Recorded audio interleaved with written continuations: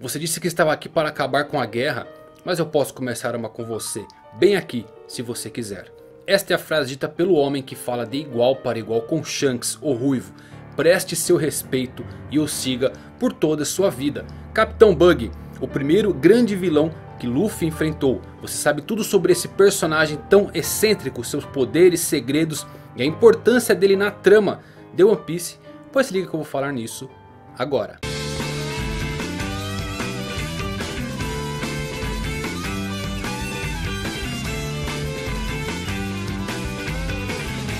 Fala galera, Evandro Fusari com mais um vídeo pra vocês. Como vocês estão? Espero que todos muito bem. Mais um vídeo de histórias de personagem. Hoje trazendo ele para fechar a tripulação de Gold Roger. Vamos falar de Capitão Bug, um personagem muito amado, muito odiado, alguns não gostam, outros acham uma ótima válvula de escape no quesito de humor nas tramas de One Piece, mas Bug sempre teve uma certa importância no decorrer da trama, vocês vão ver aqui na história dele o quanto Oda desenvolveu esse personagem que tem um poder especial, se assim podemos chamar, um poder inclusive muito parecido com o que o Luffy tem, o maior poder de todos os mares, exatamente. Bug provavelmente vai ser muito importante agora na trama atual do arco de Wano ou posteriormente. Onde ele deve assumir talvez um cargo de um imperador, quem sabe. Com a queda de Big Mom ou Kaido, uma vaga vai ficar em aberto ali. Mas será que ele teria poder suficiente para manter esse cargo? Aproveita se você ainda não viu os vídeos da história, vou deixar no card no decorrer desse vídeo. Já fiz de vários personagens de outras obras. Eu espero que você goste e se divirta assistindo esses vídeos então. E agora com vocês, a história de Capitão Bug.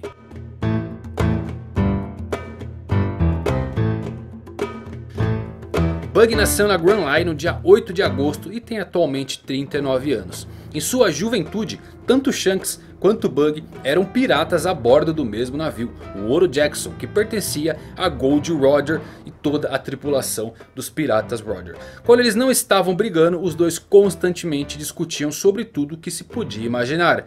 No flashback, no mangá e no anime, eles discutem se o Polo Norte ou o Polo Sul é mais frio.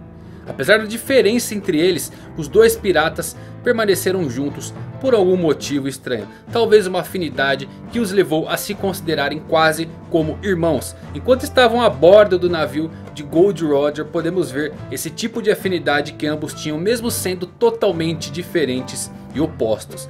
Inclusive Barba Branca até se lembrou de ter visto um nariz gigante durante seus confrontos contra Gold Roger. Significa que ele se lembrava de Bug durante os confrontos na Era de Ouro dos Piratas. Durante um ataque em um navio inimigo, Bug encontrou um mapa do tesouro marcando a localização de um valioso tesouro submarino. Durante o mesmo ataque, a equipe pegou uma Akuma no Mi, a Barabara no Mi. Falando o valor da fruta, Bug trocou a fruta verdadeira por uma falsa, mostrando o tipo de caráter que ele possuía. Ele acabou comendo a falsa na frente de toda a tripulação para que ele pudesse vender a fruta verdadeira. Já que valia uma boa quantia em dinheiro. Mas enquanto se regozijava privadamente com o mapa e a fruta em sua posse e se preparando para partir do navio, Bug foi surpreendido por Shanks. Ele escondeu então a fruta em sua boca e antes que pudesse removê-la, Shanks o surpreende novamente e ele acaba engolindo a fruta, perdendo para sempre a sua habilidade de nadar. E assim também perdendo sua chance de pegar aquele tesouro que estava debaixo da água. Isso ocasionou um grande rancor dele contra Shanks. 26 anos antes do enredo, Roger foi diagnosticado com uma doença que era incurável. Nos três anos seguintes, ele explorou toda a Grand Line. E antes de Roger é, entrar em batalha, inclusive contra o Leão Dourado, Tiki, na batalha de Edward, Bug foi o único na tripulação a sugerir que eles se rendessem contra o Leão Dourado.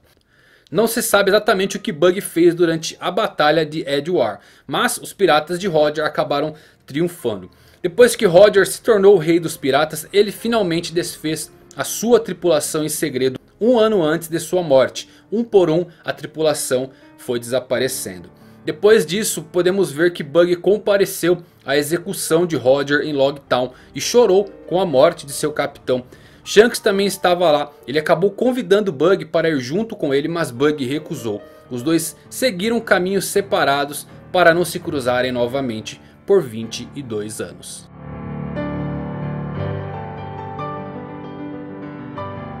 A introdução de Bug como personagem foi feita durante o arco de Orange Tal.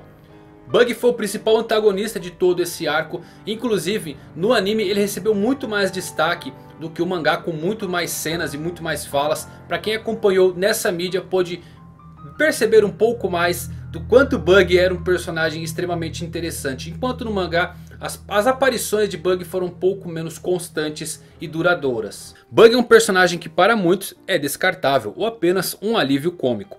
Na verdade no início da série realmente ele não passou muito disso. Em uma entrevista logo no início de One Piece para Shonen Jump, Oda disse uma vez que Bug era seu vilão favorito. Isso mudou obviamente com o passar do tempo com novos vilões chegando. Mas fica a lembrança e possivelmente por essa forte conexão de Oda com Bug, ele desenvolveu o personagem ao ponto de torná-lo extremamente relevante, ser considerado como um irmão por Shanks ou Ruivo e ser membro da tripulação de Gold Roger são apenas alguns dos destaques que ele recebeu. Muito ainda o aguarda na história. Bug é o primeiro vilão a aparecer na série que é um usuário de Akuma no Mi. Ele também é o primeiro usuário que Luffy enfrentou durante todo o enredo. Bug tem diversas inspirações, uma delas vem das lendas japonesas. Um ser chamado Nukekubi, um monstro humanoide devorador de carne que segundo a mitologia japonesa separa a cabeça durante a noite para flutuar e caçar as vítimas de forma mortal. Muita gente não sabe, mas Bug inicialmente seria chamado de Bug. Bug foi desenhado com um estilo mais duro e realista, fazendo com que ele parecesse mais com um palhaço de terror assustador, não muito diferente de outros vilões de palhaços na ficção como Coringa de Batman ou It, a Coisa.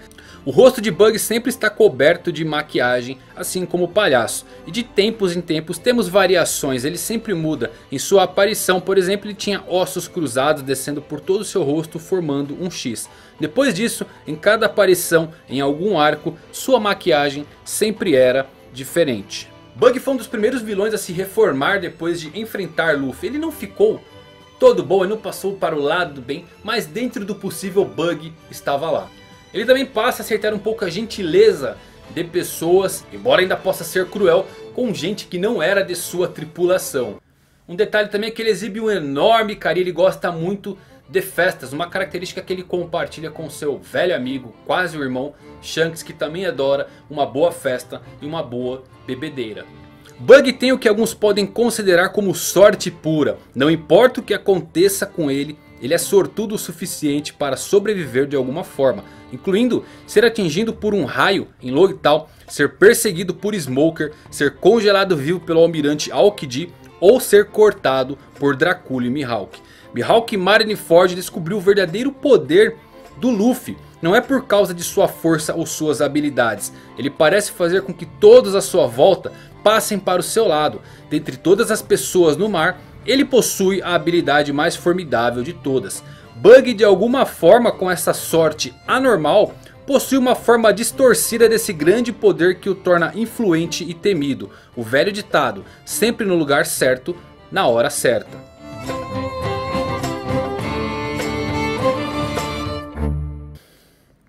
Além disso, através dessa sorte, juntamente com ações infelizes e mentiras, ele conseguiu ganhar poder e favor de muitas pessoas poderosas, fazendo praticamente quase nada. Muitas vezes a casualidade o faz parecer mais impressionante e intimidador do que ele realmente é.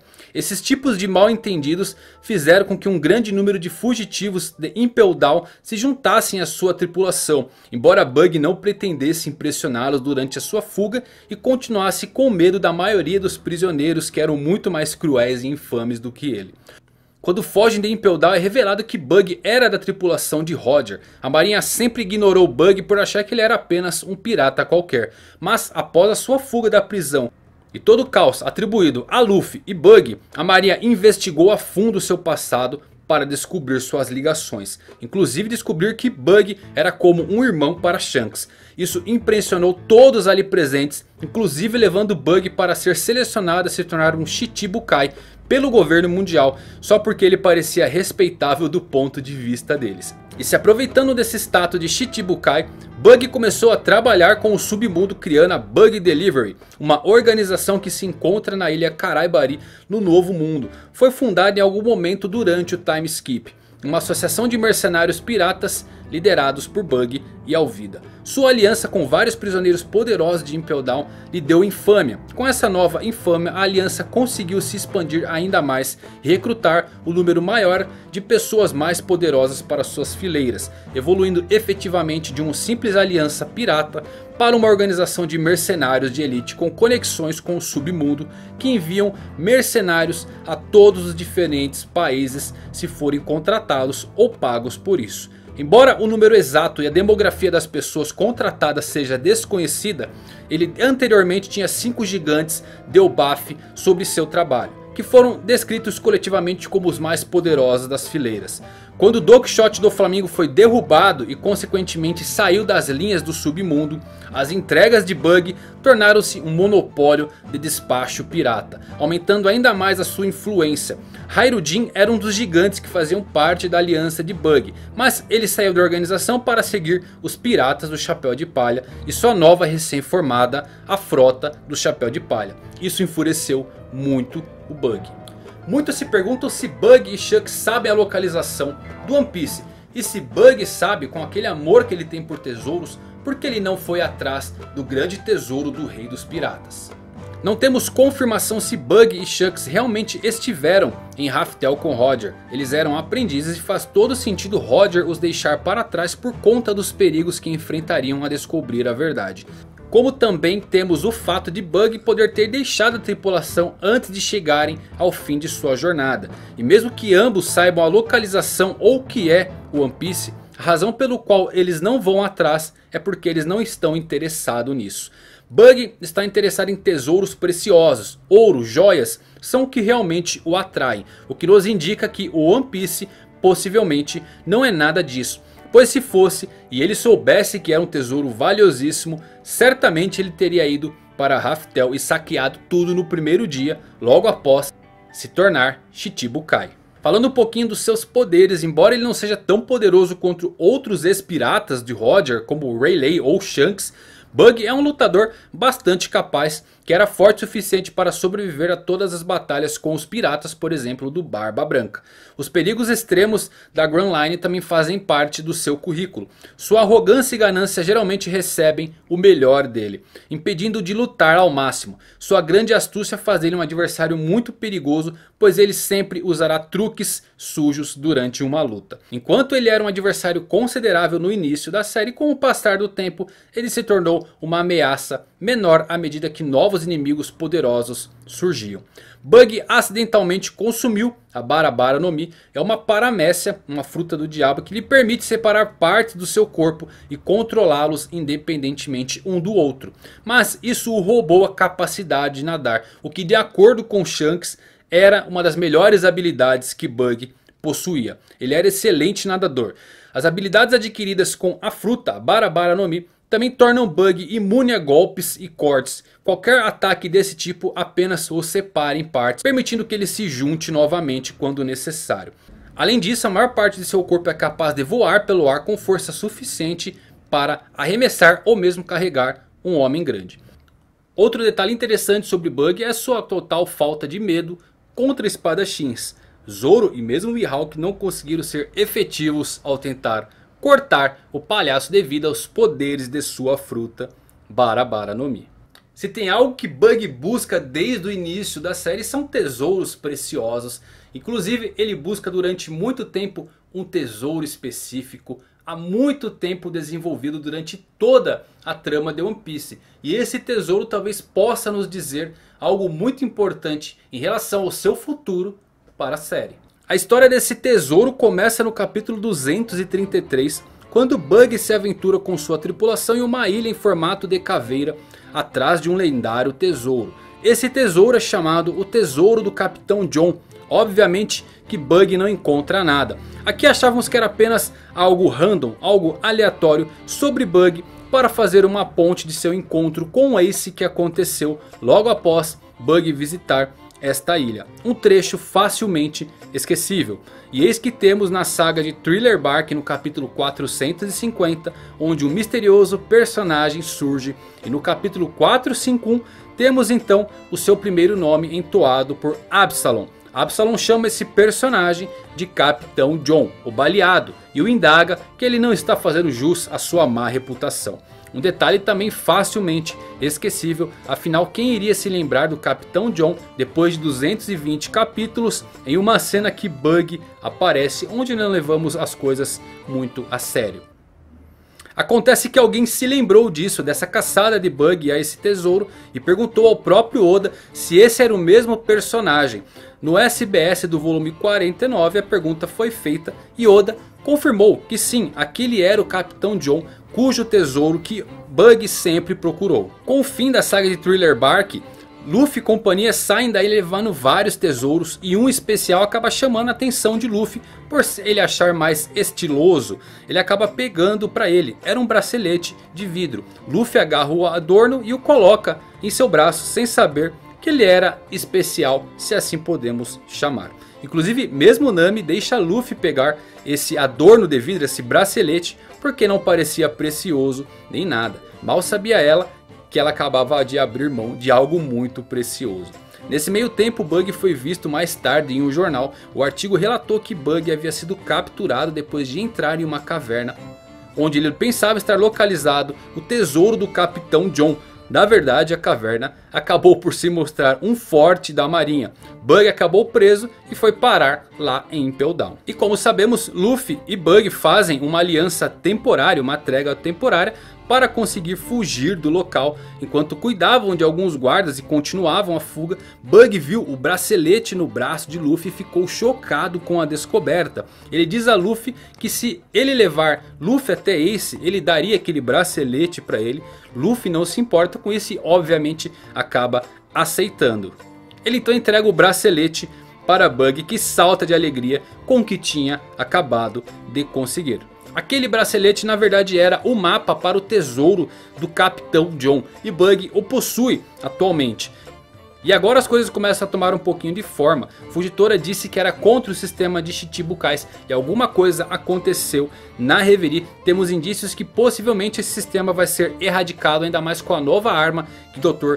Vegapunk está desenvolvendo. Então vimos inclusive Mihawk mandando Perona embora porque havia algo acontecido. Algo suficientemente perigoso para fazer o maior espadachim do mundo mandar ela ir embora de sua ilha preocupado com sua segurança.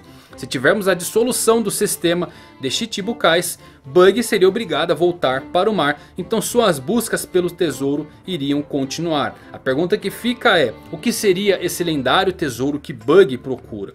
O tesouro do Capitão John foi pronunciado por um longo tempo. Seria decepcionante se fosse apenas ouro e prata. Entre as tripulações de piratas quando saqueavam navios, seja pirata ou não, tesouros, comida e outros espólios sempre eram compartilhados igualmente com sua tripulação para manter a moral da equipe.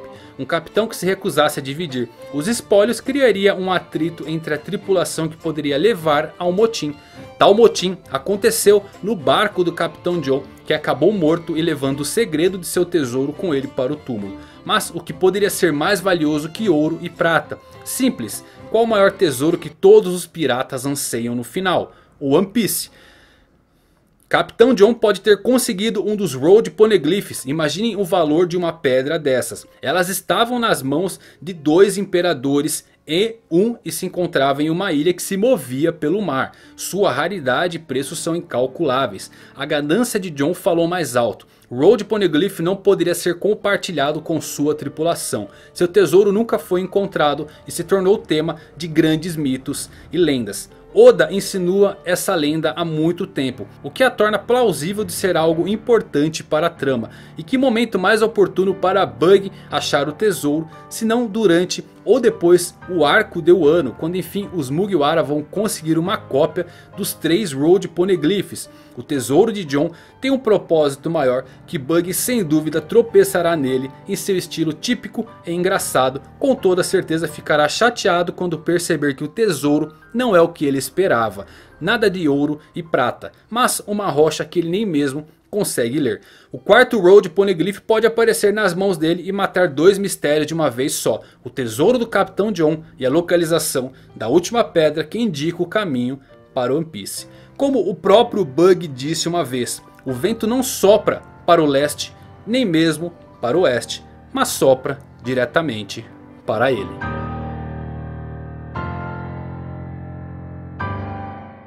E essa é história de Capitão Bug, que personagem engraçado, magnífico. Alguns não gostam, outros amam. Eu gosto do Bug e eu acredito que sim, ele vai ter um desenvolvimento muito importante para a trama. Principalmente agora nas partes finais. Esse tesouro do Capitão John não deve ser algo tão simples assim. Quem sabe seja o próprio quarto Road Poneglyph. Eu já fiz uma teoria quanto a isso. E eu acredito sim que Bug vai ser de extrema importância. Principalmente se o sistema de Chichibukais for dizimado e ele voltar para o mar. E que momento mais oportuno para se encontrar aí com o Luffy que ele tanto odeia do que agora no final do arco de Wano. Quando um dos Yonkos possivelmente vai ser derrubado. Será que Bug vai ocupar esse posto? Será? Não sei galera, teorizem, deixem nos comentários. Se você gostou desse vídeo, manda likezão, compartilha, chama os amigos para o canal. Não percam mais vídeos de história que eu vou estar lançando semana que vem. Quem será que vem? Hum, Sengoku talvez e Garp na sequência. Depois entramos em outros personagens magníficos. Talvez Quixote do Flamingo ou quem sabe alguém da tripulação do Luffy. Quem sabe. É isso aí galera. Espero que vocês tenham gostado desse vídeo. Se curtiu, manda like. Até os próximos vídeos. Valeu por assistirem. Fui.